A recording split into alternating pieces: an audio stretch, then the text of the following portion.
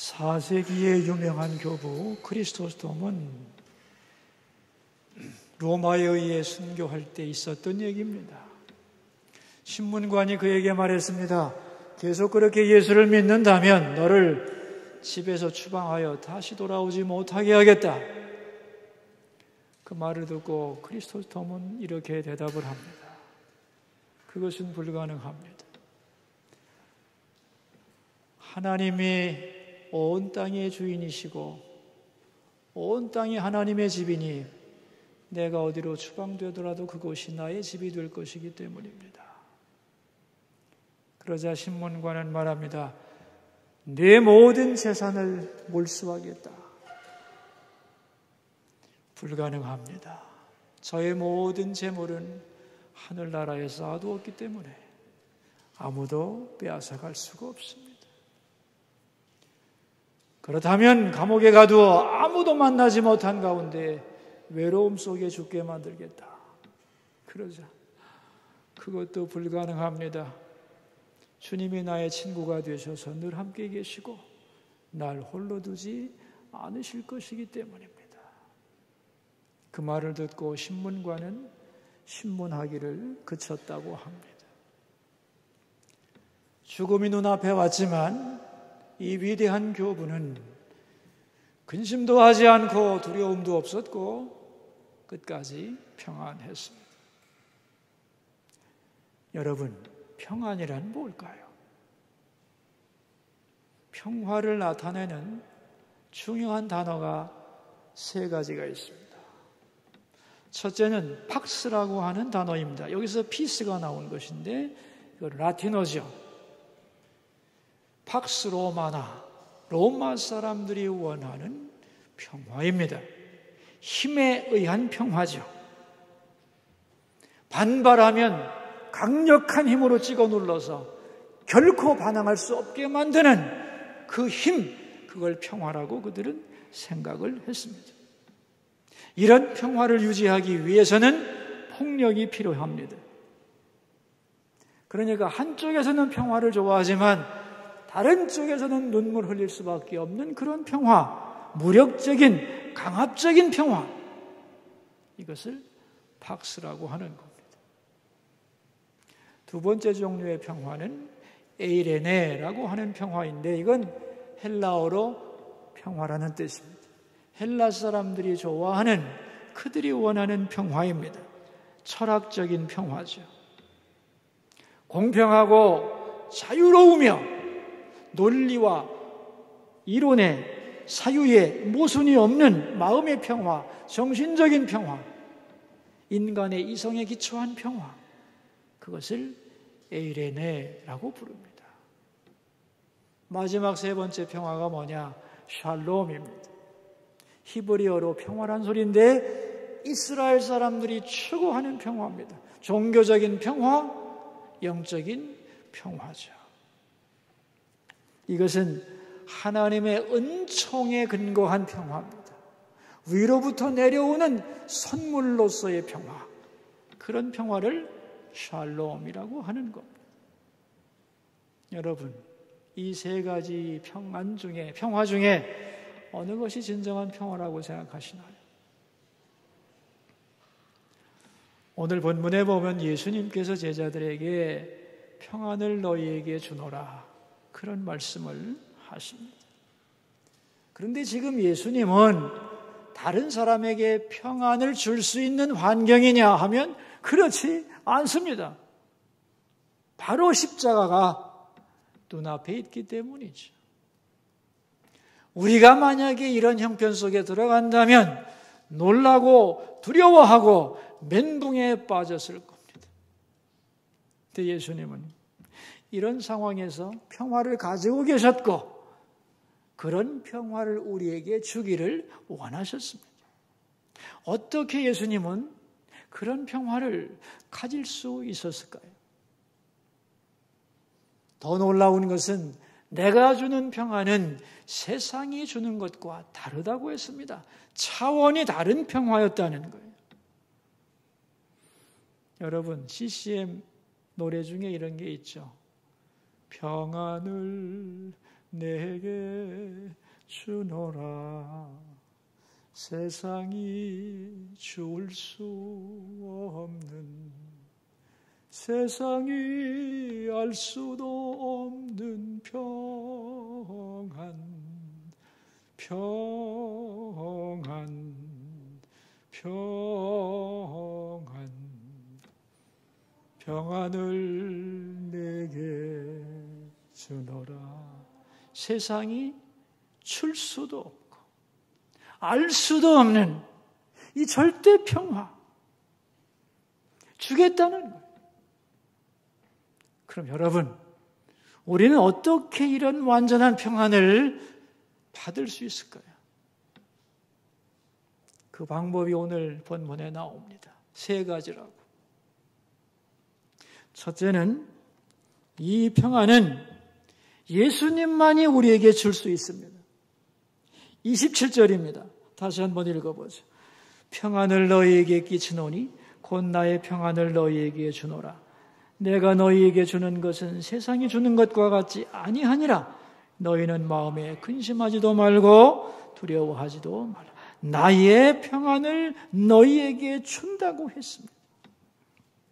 그러니까 진정한 평안은 환경에서 오는 게 아니고요. 내가 만들 수 있는 것도 아니고요. 내가 가지고 싶다고 가질 수 있는 것도 아닙니다. 위로부터 주시는 선물인 것이고 하나님께로부터만 받을 수 있는 것이 바로 진정한 평안이라는 것. 그래서 우리는 주님께 나가서 이 평안을 구해야 되는 겁니다. 자, 두 번째, 이 평안을 얻기 위해서는 어떻게 해야 되냐면 세상 모든 것과의 관계를 끊어야 됩니다. 더 정확하게 말하면 내 앞에 있는 사건과 나와의 관계를 부정해야 합니다. 그게 30절인데 같이 읽어봅시다. 이후에는 내가 너희와 말을 많이 하지 아니하리니 이 세상의 임금이 오겠음이라 그러나 그는 내게 관계할 것이 없으니 그랬습니다. 이 세상 임금이 온다는 말이 뭘까요? 이 십자가 사건은 엄청나게 큰 사건으로 예수님에게 다가오고 있는데 이 사건 뒤에는 많은 힘이 작용한다는 거예요. 많은 불의한 힘이 역사하고 있는 거죠.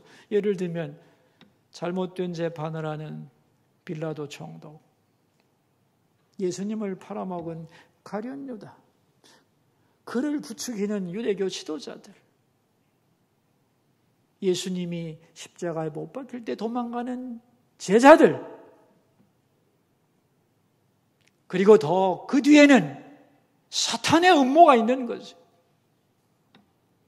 십자가로 예수님을 몰고 가는 그 강력한 힘들을 총칭하여 세상의 임금이라고 표현하는 거예요.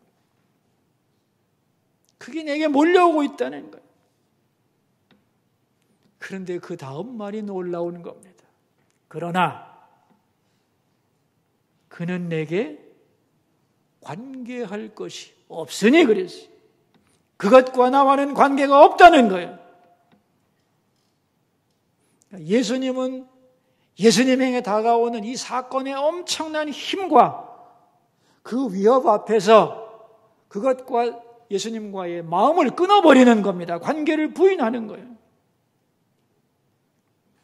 그러면 어떻게 이 엄연한 현실을 예수님은 자신과 무관하다고 관계를 끊을 수 있느냐는 거예요. 여기서 우리는 사실과 현실이라고 하는 것을 구분할 수 있어야 합니다. 여러분, 사실과 현실은 다른 것입니다. 쉽게 예를 들어보세요. 우크라이나에, 우크라이나에 전쟁이 지금 있는데 그 전쟁은 사실이죠? 맞습니까? 분명한 사실이에요. 그런데 그 전쟁 때문에 우리는 고통을 받지 않습니다. 힘들지 않아요. 마음만 안쓰러울 뿐이지. 왜? 그것은 단순한 사실이기 때문에. 만약에 내 자녀가 우크라이나 전투가 일어나는 지역에 살고 있다면 상황이 달라지죠. 더구나 내 아들이 전쟁에 참여했다면 완전히 달라지는 겁니다. 이제는 마음이 거기 가는 거죠. 그 전쟁이 나에게는 현실이 되는 겁니다. 그래서 매일매일 관심을 가지고 전황에 따라 울고 웃고 수없이 전화를 하면서 마음을 졸일 겁니다. 왜요? 이제는 단순한 사실이 아니라 내게 전쟁은 현실이 된 겁니다. 다시 말하면 사실에 내 마음이 철커덕 붙어버리면 그게 현실이 되는 거예요. 이것은 나와 관계가 없다. 그 말은 뭐냐면 그것과 내 마음과의 관계를 끊어서 단순한 사실로 전락시킨다는 뜻이. 그러니까 십자가 사건을 중심으로 해서 많은 사람들이 예수님을 모함하고 재판하고 죽이고 그런 모든 사건 다 상관없다. 나는 그것에 내 마음을 밀착시키지 않겠다는 거. 그렇다면 여러분, 예수님은 그 마음을 어디다 두고 있을까요? 세 번째, 이 평안을 얻으려면 하나님을 사랑하고 순종해야 합니다. 31절인데 읽겠습니다. 오직 내가 아버지를 사랑하는 것과 아버지께서 명하신 대로 행하는 것을 세상이 알게 하려 함이로라. 일어나라 여기를 떠나자 하시니라. 예수님의 관심은 어디에 있느냐? 하나님이 내게 맡겨주신 이 십자가 사건을 통하여 내가 하나님을 얼마나 사랑하는지, 그리고 십자가의 죽음으로써 하나님에 대한 나의 순종을 온전히 보여주기를 바랄 뿐인 거지. 왜냐하면 십자가 사건은 누가 주는 게 아니야. 하나님이 내게 주시는 잔이며 나는 그걸 통하여 사랑과 순종을 보여주는 거기에 내 관심을 두었다는 겁니다. 그러니까 여러분, 사람들은 말이죠. 이러한 사건 앞에서 하나님은 보지 못합니다. 그리고 사건만 쳐다보는 근데 예수님은 이것을 바꿔버립니다. 보이지 않는 하나님께 집중하고 보이는 사건에는 관심을 끊어버립니다. 다시 말하면 내가 만난 사건보다 하나님께 마음을 밀착시킨다는 것. 그 결과 보이지 않는 하나님, 그 하나님을 나의 현실로 느끼는 겁니다. 그럴 때의 평안이 찾아오는 거예요. 얼마 전에 어떤 환자분을 위해서 간절하게 기도하고 있는데 제 눈에 옛날 영화관이 보이는 거예요. 여러분 옛날 영화관 기억하시죠? 앞에 커다란 스크린이 있는데 거기 영상이 막 돌아가는 거고 사람들은 그걸 보면서 웃기도 하고 울기도 합니다. 근데 무심코 뒤를 싹 봤는데 영사기에서 필름이 돌아가고 있는. 그 필름이 돌아가는 그대로 화면에 비치게 되고 사람들은 거기에만 몰두하고 있습니다. 어, 이게 무슨 뜻일까? 생각을 했습니다. 그리고 깨달았습니다. 내가 이 스크린에 비친 영상을 바꾸려고 한다고 바꿀 수 있어요, 없어요? 화면을 바꿀 수 있어요, 없어요? 없죠. 왜요? 화면은 영상일 뿐이고 중요한 것은 필름에 어떻게 기록되는가 그것이 중요한 거예요. 그러니까 스크린은 영상이고 실제는 아, 필름이구나 하는 걸 깨달았어요. 우리의 인생의 모습도 그렇습니다. 내 눈앞에 이런저런 사건이 발생하지만 그것은 다 일종의 영상이고 중요한 것은 그렇게 만들어내는 실체인데 이 실체가 뭐냐 하면 하나님의 뜻이라는 거예요. 아, 그래서 환자가 질병을 바라보면서 겁을 내고 두렵고 마음이 흔들릴 수도 있지만 더 중요한 것은 그 질병의 형태가 아니고 그 환자를 향한 하나님의 마음이구나 하는 걸 깨달았어요. 그분에게 이렇게 말해 줬어요. 내 앞에 나온 병명 때문에 놀라고 두렵고 답답하겠지만 그보다 더 중요한 것은 당신을 향한 하나님의 뜻입니다. 그러니 앞에 있는 이 질병 때문에 낙담하고 무서워하고 겁내지 말고 지금까지 당신을 사랑하시고 인도해 주신 그 하나님을 굳게 붙드세요. 그러면 승리할 수 있습니다. 그런 말씀을 드렸어요. 여러분에게 개념을 정리해 드릴 테니 집중하시고 이 개념을 이해하도록 하세요. 신앙생활 하는데 아주 중요한 개념입니다.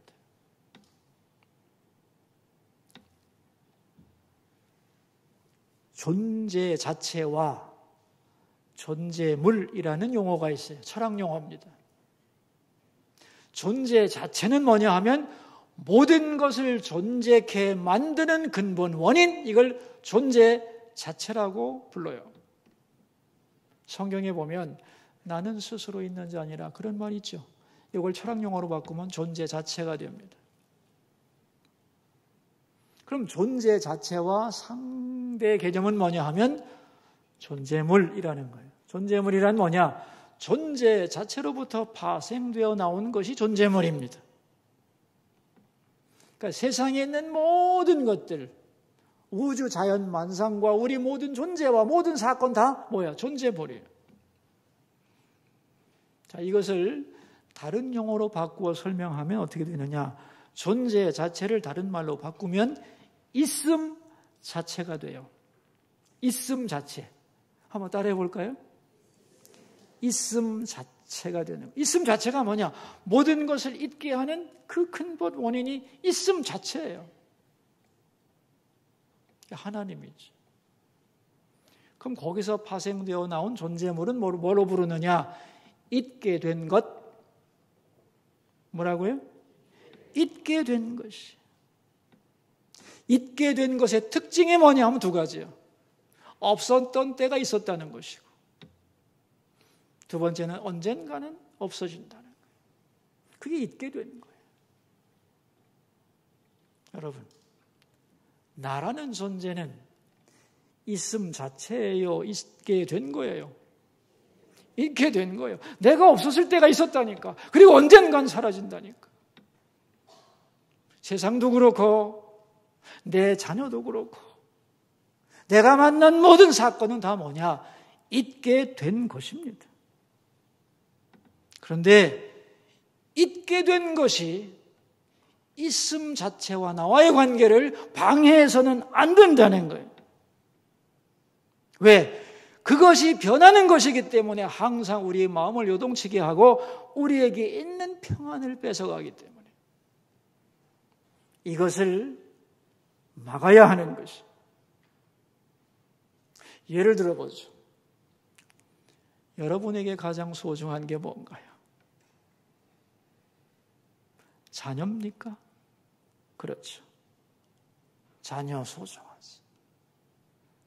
근데 자녀는 있음 자체가 아니에요. 있게 된 것이. 그 있게 된 것이 있음 자체이신 하나님과 나와의 관계를 방해해서는 안 되는 거예요. 쉽게 말하면 내 자녀가 하나님과 나 사이에 속에 들어가서 나의 관계를 방해하면 안 된다는 거죠. 알짱거리지 못하게 해야 되는 거예요. 이걸 치워야 되는 거예요. 이 말은 오해하면 안 돼요. 자식을 내가 미워하라거나 외면하라거나 무관심하라는 얘기가 아니에요. 자녀를 사랑하고 위하여 기도하고 정성을 다하고 헌신하지만 하나님 안에서 자녀를 사랑하라는 거예요. 그들이 하나님과 나와의 관계를 방해하지 못하도록 나와 그들의 관계가 하나님과 나와의 관계보다 더 가까워지면 안 된다는 거예요. 이 말을 해석하면 자녀를 하나님의 눈으로 바라보고 하나님 안에서 사랑하고 우상을 만들지 말라는 거예요. 그리고 그들이 하나님 안에 있는 존재임을 믿으라는 거예요. 그럴 때 부모는 자녀를 제대로 바라볼 수 있고, 제대로 사랑할 수 있고,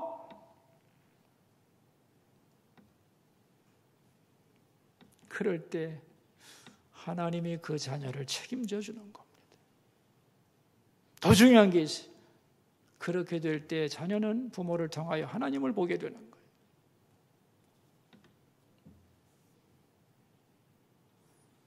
하나님과 나, 하나님과 자녀의 관계를 바로 설정해야 됩니다, 여러분. 돈을 가지고 한번 생각을 해볼까요? 돈이 없다. 돈이 없는 사람에게는 이게 분명한 사실이죠. 근데 이 사실에 마음을 빼앗겨버리면 마음이 없다는 사실에 철컥 붙어버리면 돈 없다는 사실이 현실이 되는 거예요.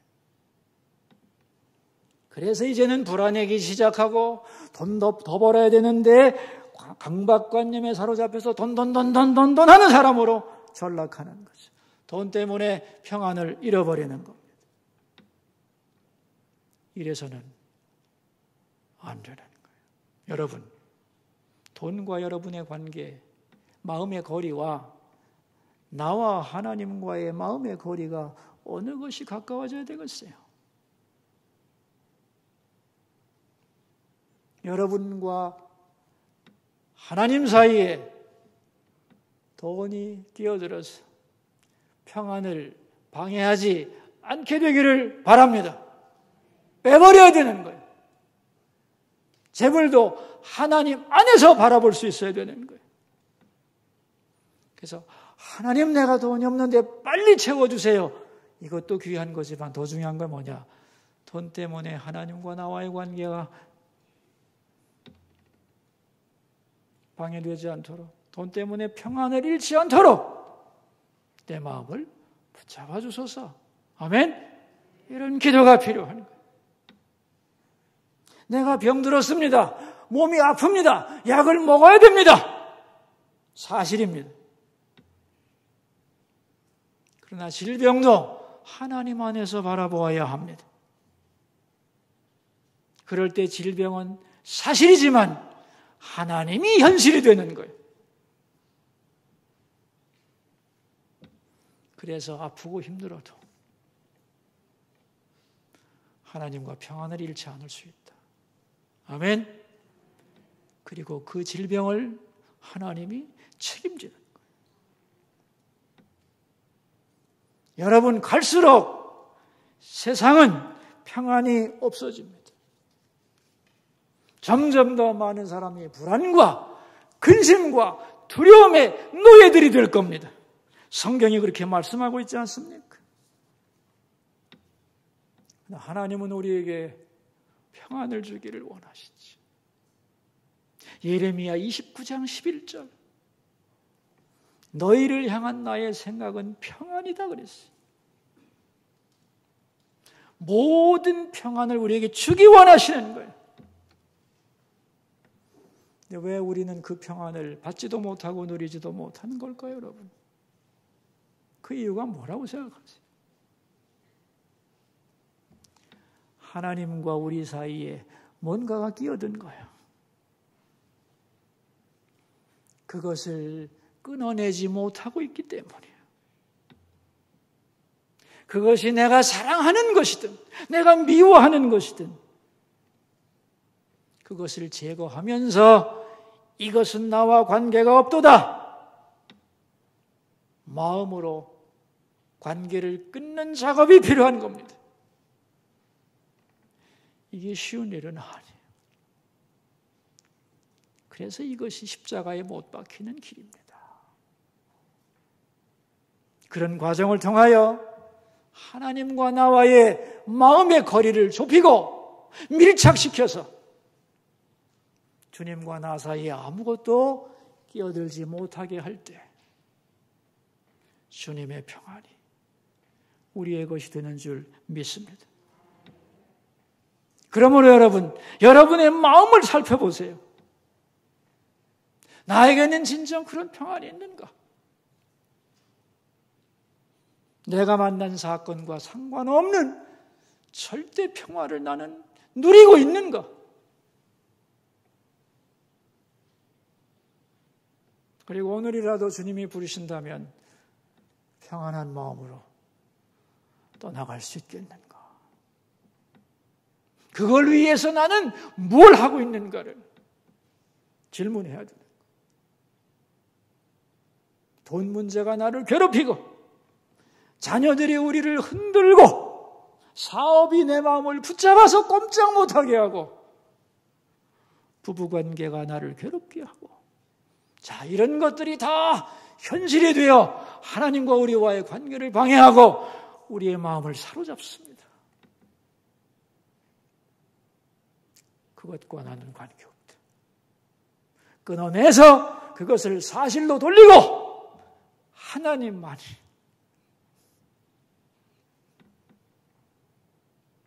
보이지 않는 하나님만이 여러분의 진실한 현실이 되기를 바랍니다.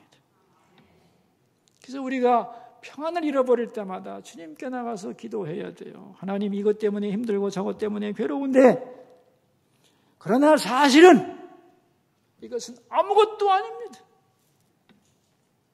이것이 주님과 저와의 관계를 흔들지 못하게 하시고 주님과 저 사이에 아무것도 끼어들지 못하게 하소서.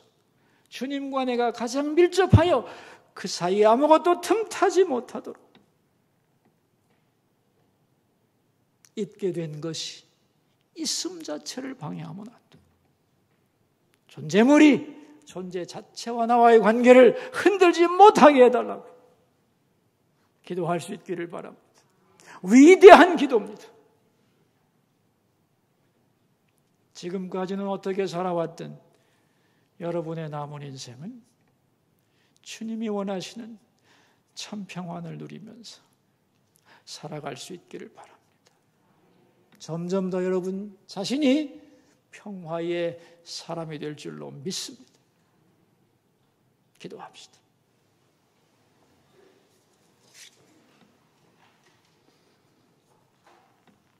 기도 제목입니다. 진정한 평안을 주소서. 그 평안을 절대로 빼앗기지 않고 누리며 살게 해 주소서. 기도하겠습니다. 여러분 자기 목소리가 자기 귀에 들리도록 소리내서 기도합시다. 평안을 너희에게 주노라. 세상에 줄 수 없는, 세상에 알 수 없는 평안을 너희에게 주노라.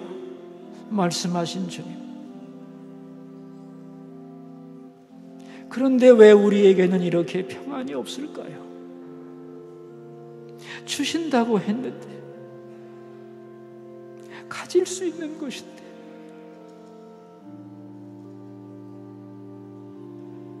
그 원인이 뭔지, 오늘 말씀을 통해 가르쳐 주시니 감사합니다. 진정한 평안은 환경이 만드는 것도 아니고, 내가 소유할 수 있는 것도 아닙니다. 주님이 주시는 선물일 뿐입니다. 세상의 수많은 사건과 나와의 관계를 끊어버리고 하나님을 사랑하고 순종할 때 주어지는 선물임을 믿습니다. 바라오니 절대로 평안을 빼앗기지 않는 신앙의 싸움을 잘 해나갈 수 있도록 도와주소서. 그리고 점점 더 우리가 평안의 사람이 되게 해 주옵소서.